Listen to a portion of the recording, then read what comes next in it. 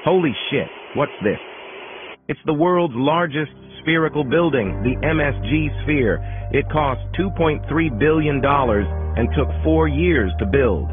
On July 4th, 2023, the exterior LED screens will be lit for the first time. A ball that has recently taken the world by storm, MSG Sphere Pavilion. This ball functions as an immersive theater.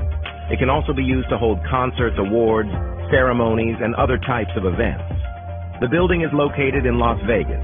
It's 112 meters high, almost 30 floors.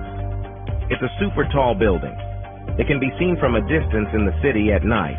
The outer surface of the sphere is covered with about 1.2 million LED light sources. It can display extremely rich colors.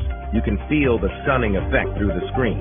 The interior of the building functions as a huge theater, equipped with a 16K resolution panoramic spherical LED. The display covers an area of 15,000 square meters, almost the size of two soccer fields.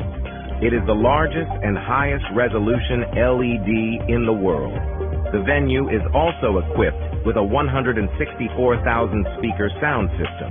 In addition to video enjoyment, 10,000 of the 18,600 seats inside the stadium will be equipped with vibration feedback technology that will vibrate according to the content shown on the screens that will generate different vibrations depending on what is being played on the screen.